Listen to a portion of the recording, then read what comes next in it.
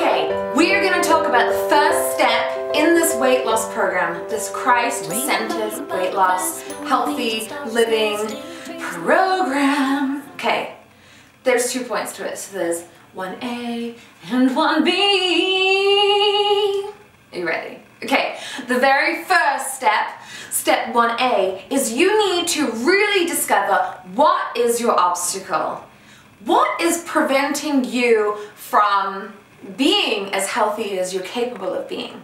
And then you need to get specific. So I'm gonna give you my example. I emotional eat. But that's not specific enough. So why do I engage in emotional eating? Well, as I dig deeper and really um, contemplated my situation and the times that I overeat, it's because I do not want to feel feelings of insecurity or inadequacy. And so instead of feeling those feelings, I numb myself with food and I distract myself with food.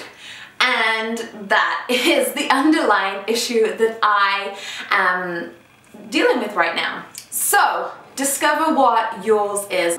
Okay, so now 1B is a really important component. And I've talked about this before, but it's ask God. So ask Him, but ask Him specifically. So instead of going to your Father in heaven in prayer, and in my situation saying, help me not engage in emotional eating. Help me not feel inadequate.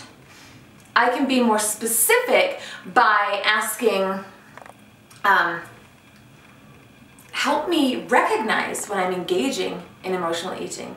Help me recognize the feelings of inadequacy and help me have the courage to feel them and the faith to know that they will pass. Help me feel thy love.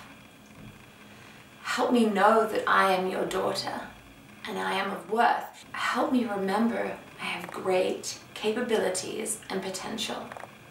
As I become specific in turning to my Father in heaven and asking Him to help me in this specific obstacle that's preventing me from moving forward into a healthy lifestyle, I believe He will answer my prayers and your prayers specifically.